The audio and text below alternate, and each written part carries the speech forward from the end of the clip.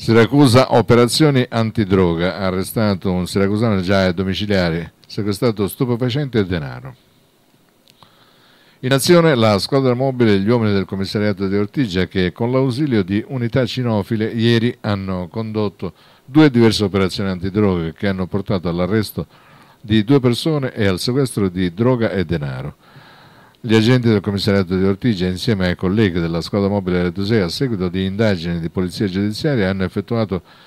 a casa di un uomo di 32 anni, già sottoposto agli arresti domiciliari con l'obbligo del braccialetto elettronico, per aver perpetrato specifici reati sempre inerenti agli stupefacenti, un'attenta perquisizione domiciliare che ha consentito di rinvenire e sequestrare 31,60 grammi di hashish, 21,25 grammi di cocaina, bilancini elettronici di precisione e vario materiale utile per il confezionamento dello stupefacente, oltre a circa 3.000 euro in contanti, probabile provento dell'attività di spaccio che l'uomo continuava a condurre nonostante si trovasse agli arresti domiciliari.